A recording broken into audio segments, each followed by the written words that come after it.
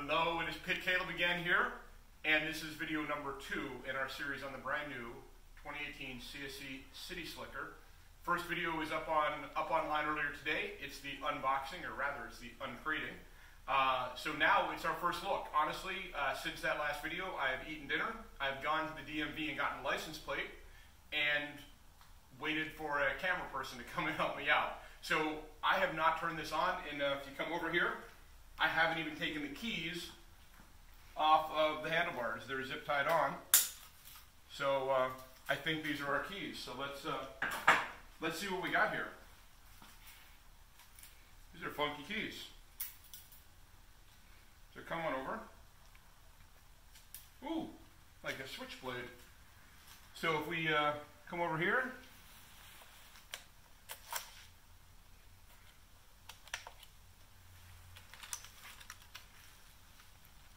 we have one mile on the odometer and a 69% charge.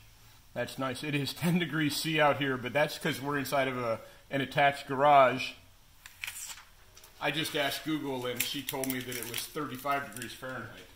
So uh, I don't think uh, it's quite as warm as she thinks it is.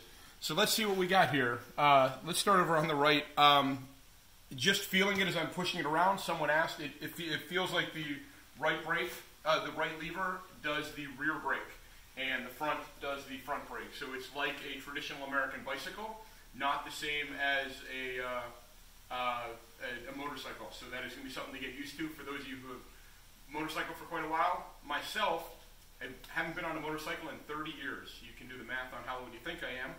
Um, and so I don't have to worry about reaching for the clutch or trying to shift or figuring out my brakes because it's just like a bicycle for me. So if we come back over, on the right thumb, we have our Eco power switch. Um, in Eco mode, uh, this will go up to 35 miles an hour, 37 miles an hour, and in power mode, it'll go up to 47-ish.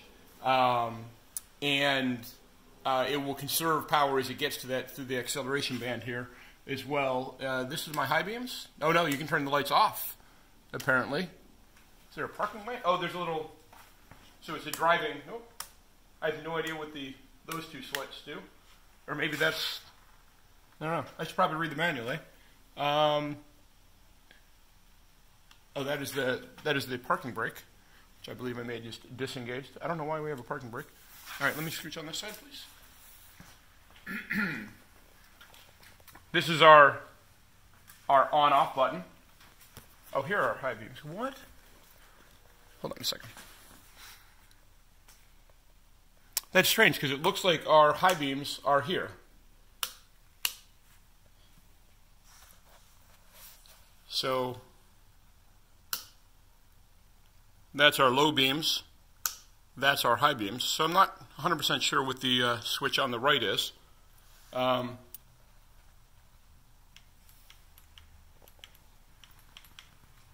I wonder if some of this stuff doesn't work unless it's on. Um, we do have a turn signal.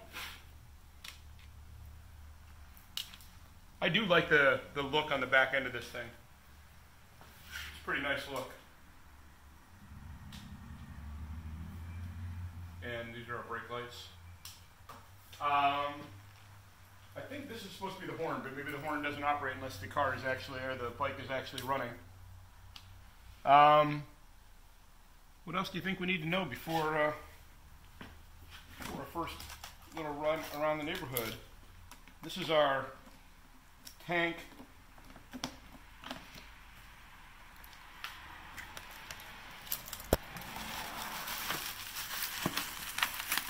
So this is going to be our plugs. I'm assuming this is our power cord.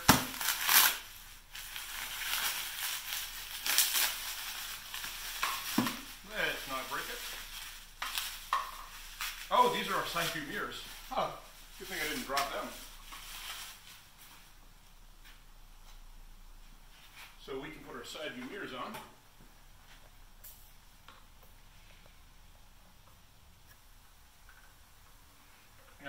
Again, good enough for right now. All right, let's see what else we got in our little bag of goodies here.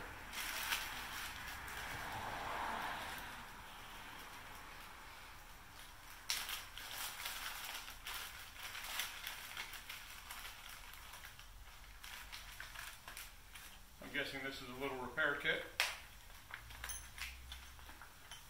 Yep, just a little mini tool set.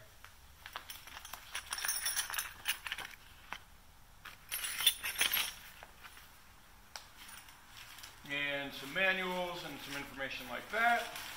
I'm going to set that to the side for right now. What else did we have in here? All right, so here is the charger.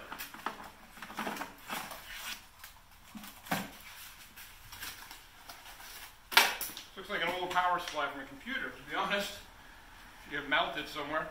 Uh, so we have a normal 110 outlet and a normal uh, normal plug on this. And if you come over here,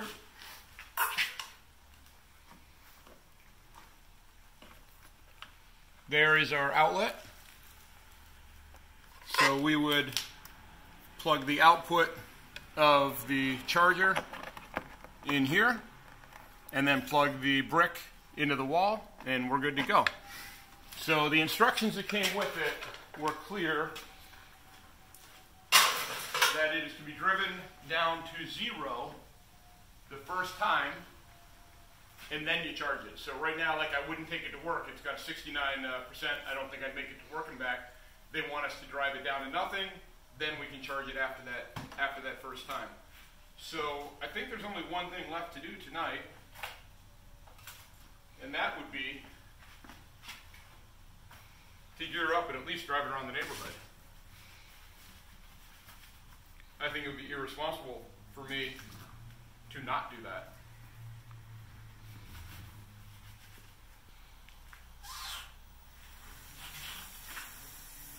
Listen to the noise.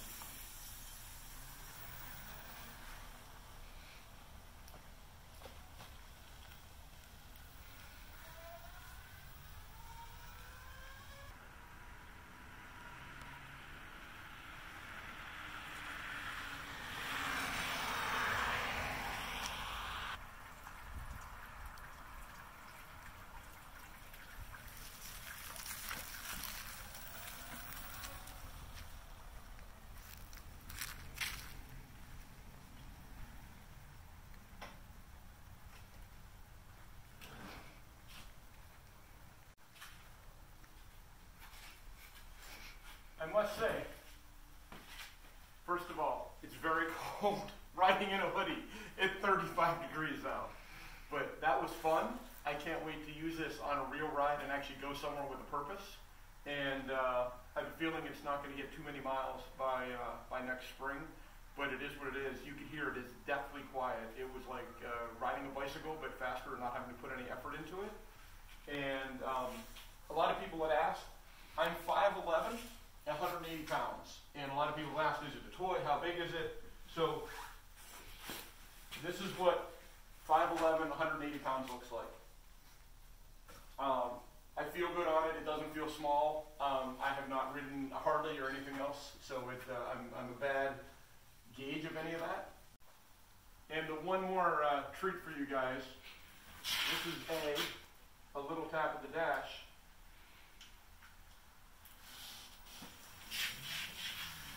and it goes backwards. Great for parking, get, great for getting out of my garage.